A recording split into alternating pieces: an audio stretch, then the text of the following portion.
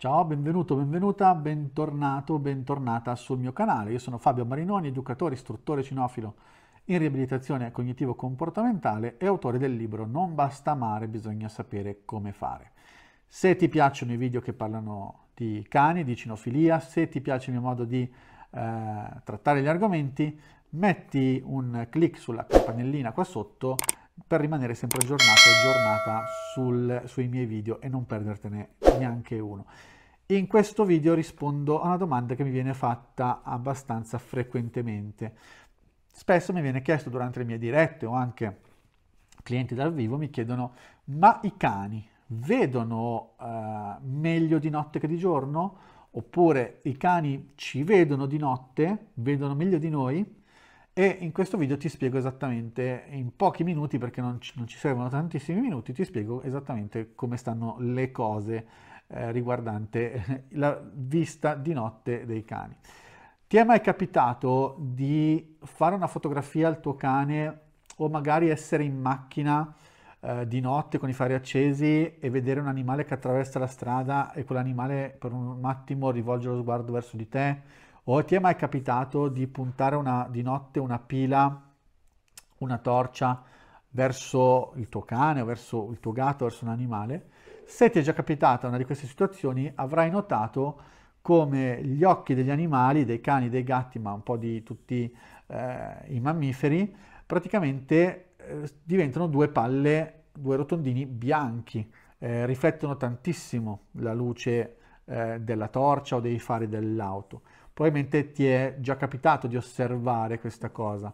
Perché succede? Perché gli occhi dei cani o dei gatti eh, risultano così durante la notte? A volte anche, fanno anche un po' paura, sembrano tipo un film dell'orrore. In realtà questo succede perché gli occhi degli animali hanno una patina eh, sopra la retina che praticamente riflette la luce. Questo eh, chiaramente nella natura si è sviluppato probabilmente per permettere ai lupi eh, e agli, animali che eh, vivevano in modo selvatico di utilizzare la notte per trovare rifugio, di utilizzare la notte eh, per eh, trovare posti eh, che permettessero agli animali di, di stare al sicuro o magari anche di cacciare durante la notte e questa patina, in poche parole, riflette quella poca luce che c'è di notte, che potrebbe essere la luce eh, che riflette la luna, le stelle o magari la luce di eh, abitazioni che, che, sono intorno all'ambiente. Quindi eh, pre- prendono questa poca luce che entra e la riflettono e praticamente questo permette ai cani o ai gatti di vederci meglio, di vedere meglio l'ambiente e potersi muovere per l'appunto. Chiaramente se siamo in un ambiente completamente al buio senza neanche un filtro di luce non vedono niente praticamente come noi sono al buio completo mentre basta un pochettino di luce che filtra, appunto riflessa da, dall'ambiente, dal cielo, eccetera, eccetera, per far permettere ai cani di vedere, di vedere meglio.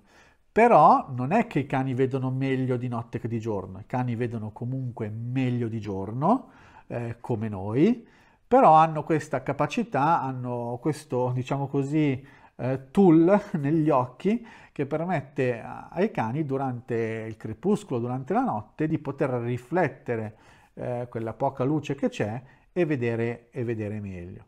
Vedono quindi sicuramente meglio di noi di notte, eh, però non è vero che vedono meglio di notte, vedono comunque meglio di giorno, ma di notte si riescono a orientare molto bene grazie a questa capacità.